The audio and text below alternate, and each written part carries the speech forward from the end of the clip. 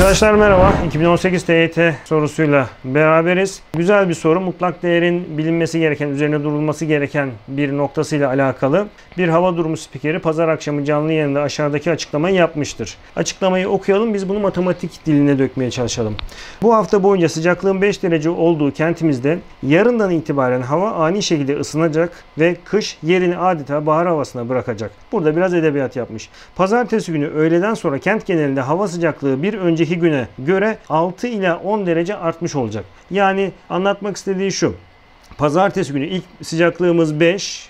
Buna 6 ila 10 derece arasında bir ekleme yaparsak 6 eklersek 11 dereceye çıkmış olur. Eğer 10 eklersek 15 dereceye çıkmış olur. Yani pazartesi günü kent genelindeki hava sıcaklığı sayı doğrusu üzerinde gösterirsek 11 ile 15 arasında olabilir. Peki biz bunu matematiksel olarak nasıl ifade ederiz? Burada bir x var ve bu x arkadaşlar 11 ile 15 arasında. Şimdi bu güzel bir şey. Yani burada iki yol var çözüm olarak. Şıkları tek tek deneyebilirsiniz. Mutlak değerli bir ifadeyi eşitsizlik haline mutlak değerden kurtararak denediğinizde buna ulaşmak istiyorsunuz.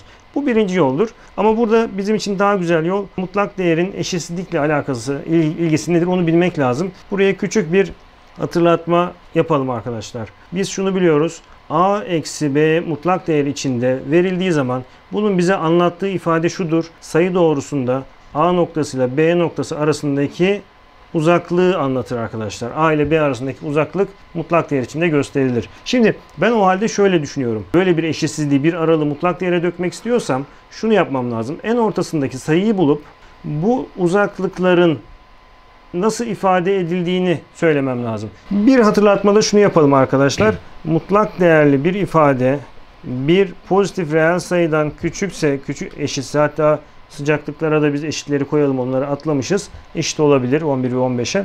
Şunu biliyoruz arkadaşlar. Mutlak değerli bir ifade mutlak değerde eksi a ile a arasındadır. Dolayısıyla böyle bir ifadeyi düşündüğümüzde ben şunu söyleyebilirim. X sayısı Ortadaki sayıyı bulalım. 11 ile 15'in tam ortasında ne vardır Baran? 11 ile 15'in İkisi. tam ortasında. 13. 13 vardır. Şimdi ben şöyle düşüneceğim. Benim x'im nerede olursa olsun 13'e uzaklığı bu tarafta dikkat et 2 birim var. Burada da 2 birim var.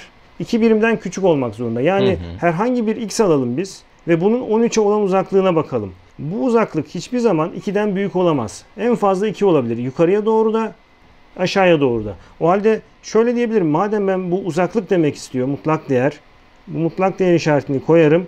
X'in 13 olan uzaklığı 2'yi geçemez. En fazla 2 olabilir. Şöyle yazsam herhalde olacak galiba. Dolayısıyla arkadaşlar bir ifadeyi eşitsizliği mutlak değer şeklinde yazmak istersek en ortadaki sayıyı bulup ona olan uzaklık cinsinden mutlak değerle ifade edebiliyoruz. Seçeneklerimizde de A şıkkını görüyoruz arkadaşlar. Bir sonraki videoda görüşmek üzere. Hoşçakalın.